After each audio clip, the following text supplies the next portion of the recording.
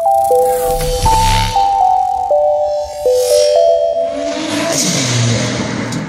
Hola amigos, ojalá que les esté yendo muy bien.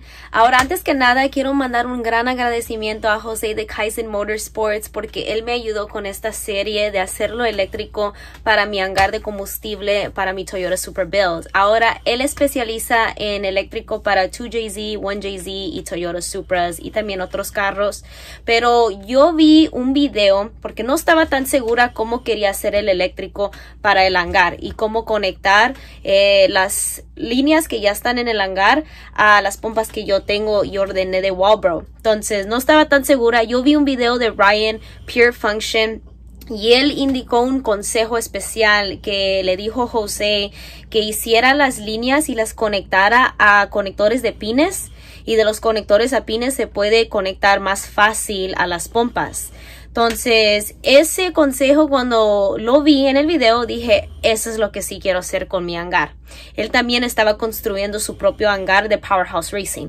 Entonces, inmediatamente yo contacté a José. José está localizado en sur de California y él le hizo unas preguntas de cómo se puede hacer lo eléctrico y cuáles son las herramientas especiales que voy a necesitar usar para hacer ese tipo de trabajo. Entonces, él ofreció de que yo fuera a su taller y de que él me iba a explicar todo lo que yo necesitaba saber de lo eléctrico y que me iba a ayudar con lo eléctrico de mis pompas también. Entonces yo acepté y dije, oh my god, esto va a ser perfecto porque así ah, un profesional me puede enseñar un poco más de lo que de verdad yo no sé, pero sí quiero aprender. Entonces, esta primera parte va a ser el inicio de cómo empezó el trabajo en mi hangar.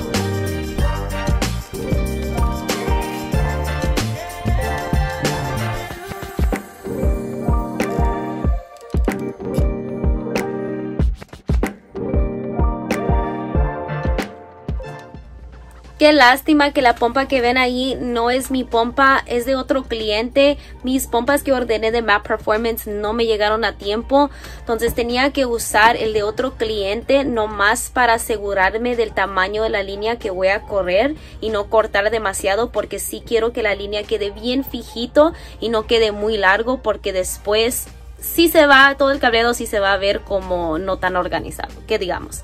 Pero en esta parte sí me enseñó mucho del tamaño de la línea eléctrica y cuánto energía toma esa línea eléctrica de pues que digamos la pompa de donde está conectado y donde corre la línea al arnés del carro. Entonces sí me estaba explicando mucho de las diferencias del tamaño de la línea ni no nomás eso amigos pero también el producto que se usa.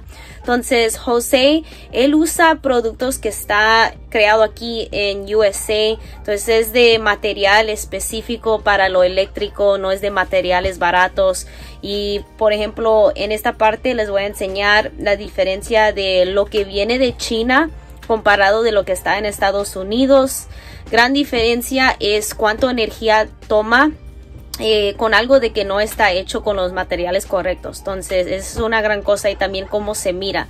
Mira que lo de este China se mira bien brilloso y lo que está hecho aquí en Estados Unidos es ahora en la línea eléctrico. Él me dio una oportunidad de hacerlo yo y Dios mío.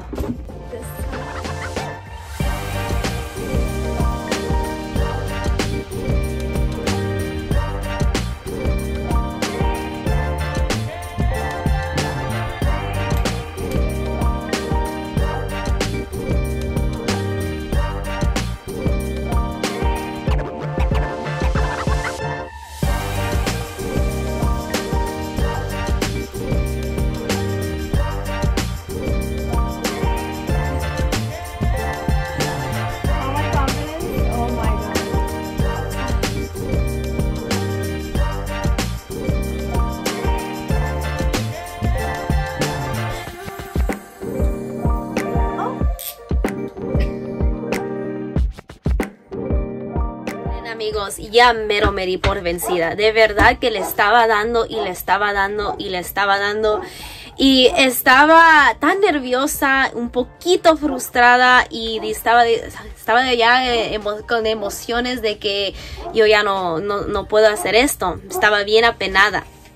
Y hasta que al fin, la última, al fin le hice y le di correctamente con la crimpadora, pero sí me salió un poquito chueco. Me dijo José, si lo va a hacer, se tiene que ser bien derechito, es más profesional y así no va a haber interferencia entre meter ese pine al conector. Yo entendí mucho, entonces ese es otro consejo que voy a tener en mente en el próximo o en el futuro, ya cuando yo quiera hacer este tipo de trabajo y yo esté sola. Pero sí, y le estaba dando, le estaba dando, pero lo bueno es que no me di por vencida. Ese es otro consejo, amigos. Ustedes le tienen que dar y no se pueden dar por vencidos, ¿ok? Yo identifico esta parte como hangar de combustible, pero también es conocido como un sostenedor de pompas de combustible. Pero esta parte específicamente es hecho para tres pompas y puede correr más y sostener más de 1500 caballos de fuerza. Entonces la cosa es que yo nomás voy a correr dos pompas. Entonces aquí le expliqué a José que si de todos modos como vamos a conectar los tres conectores, ¿qué voy a hacer con el último conector que no voy a usar? Le dio una respuesta de que pues no necesito hacer nada, que simplemente ahí lo vamos a tener y ya en el futuro si yo quiero correr un extra adicional o la última pompa que voy a necesitar para ya completar todos tres, ahí ya va a estar conectado. Like it's been years since I've done my life. All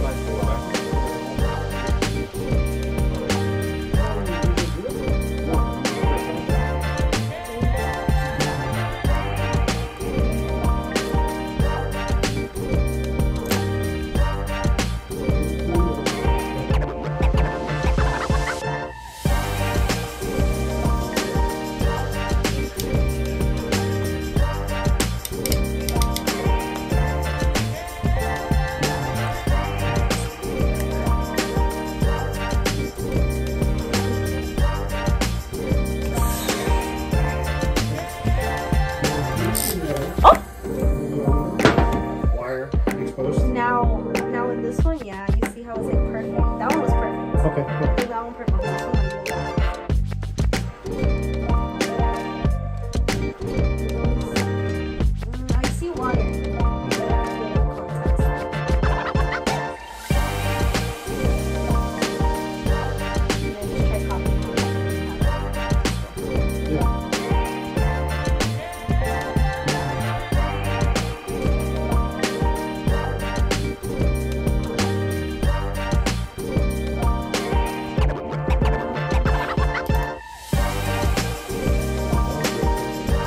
ダウ是什么ドし。